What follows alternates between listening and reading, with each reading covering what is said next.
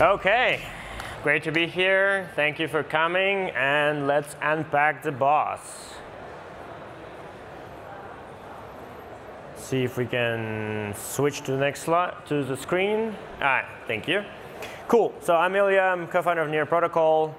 Um, we've actually been doing this uh, for a few years now, and so since last consensus where I was presenting, we've had really amazing growth across the whole ecosystem. It's really awesome to see kind of people coming in, users and being onboarded across lots of applications.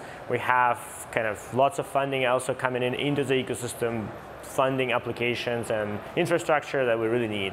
And so kind of just to you know, showcase some of the stats, but the interesting part has been how we have been evolving through the years, right? We started in 2018. We started as kind of, hey, we want to use blockchain ourselves. We have a clear need, like we wanted to use it for crowdsourcing, and we didn't see the kind of platform that we can use as developers to really build something that's easy to use, scalable, kind of secure, and is really providing the value to the end user. And so we started in 2018, we launched in 2020, and kind of we're growing the ecosystem.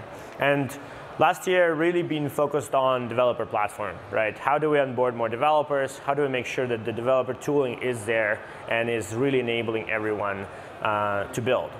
And kind of this year, what we've seen is now we have a lot of developers, we have a lot of applications, but there's a struggle of kind of going to the next step, right? Really bringing users and kind of building businesses in this ecosystem. And that's why we kind of evolving near into blockchain operating system, right? In our goal to get a billion users. So what is blockchain operating system? It's a common layer for browsing and discovering open web experiences. And it is compatible with any blockchain. Right? It does, it's not just for near blockchain. It works on EVMs. It works on kind of uh, more blockchains as, as time goes. So what problem are we trying to solve? At the core, like we're trying to solve problems not just in Web3, but also in Web2. So in Web2, there is kind of problems we all know, and trying to kind of approach with open web with Web3 are censorship, user kind of uh, like lack of data ownership from the user side, lack of privacy, right? All the data is getting leaked through kind of pixels, through all variety of ways, you know, data getting hacked from the centralized parties that you're giving it to. The user retention is like in Web2 actually, if you're building a new application is also pretty bad as well. And you have a kind of censorship of what you're leveraging as well. In Web3, few of the core problems that we see is huge fragmentation, right? Right now, there's lots of chains. Each one has its own users, its own applications. There's no common way to discover this, to leverage this, to use this we have kind of huge re-engagement problems, right? We've had lots of users joining last year before kind of when the bull market was happening, when everybody was excited, and then they left. They haven't really engaged with any of these applications because there's no way to actually bring them back. And finally, the common problems are things like onboarding, right?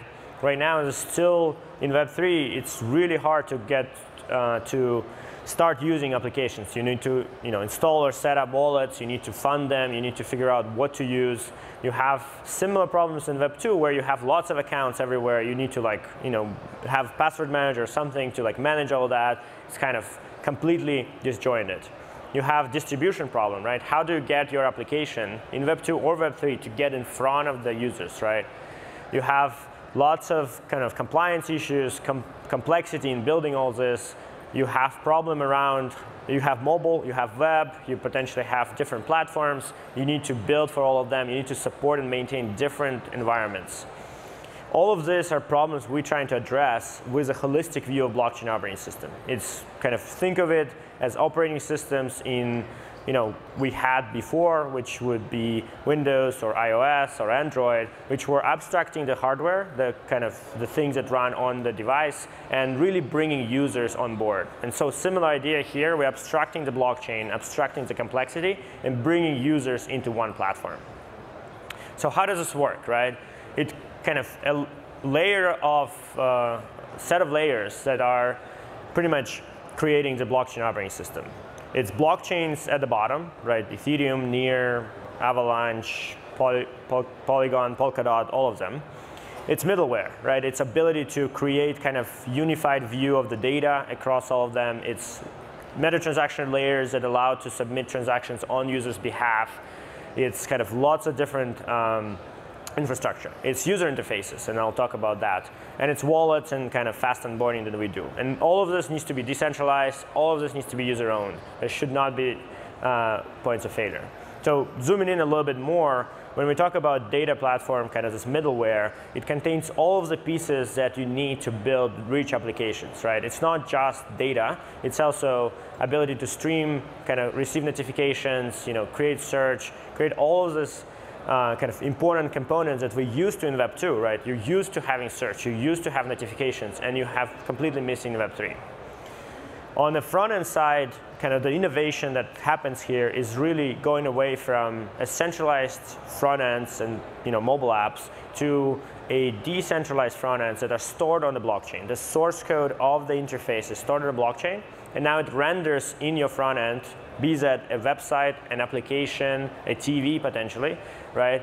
It can be rendered there for you specifically as a user. So with the context of your account, with the context of your assets, with the context of your data. So it's not rendered on the backend somewhere which you know, knows all your data. It's rendered for the user. And that's a pretty powerful innovation that actually also simplifies how to build applications and uh, really creates a very rich environment. And finally, on top of it, we call them gateways. It's a way you actually interface with all of the stack. And so you can think of it as like pre-installing this operating system into different places. So today I'll talk about near.org, but this can actually live in wallets, in browsers, in the applications themselves. And so the kind of core thing, if you leave this with one idea, is that for a long time, decentralization, right, using blockchain, kind of building decentralized applications meant that you are lacking distribution. That meant that you have highly fragmented, highly complicated way to onboard users. And so with the blockchain operating system, we're solving that. Now, actually, decentralization is helping with distribution because you're going to have all these different places where this your application and your functionality will be now accessible. So what does this mean for enterprises, right? This means that now you can grow existing website app and integrate Web3 directly into it. You can have pretty much Web3 embedded into your brand uh, with your brand without actually needing to build all of that complex kind of application. You don't need to hire a huge Web3 team. You can actually integrate that directly. It means it's easier for you to onboard your existing users already. They don't need to buy crypto and think about it. They can start using, for example, secondary marketplaces for you know, uh, brand, design brands. It can be loyalty programs for sports. All of those things can actually come in without these users needing to understand the crypto, set up wallets, all of those things. It's easier to maintain and build, right? Because now you don't need to like create all of that from scratch. You can use existing components. And it works multi-chain. You have the optionality to use Ethereum apps. You have the optionality to onboard uh, kind of MetaMask users or other chain users really easily without needing to, again, building this infrastructure yourself.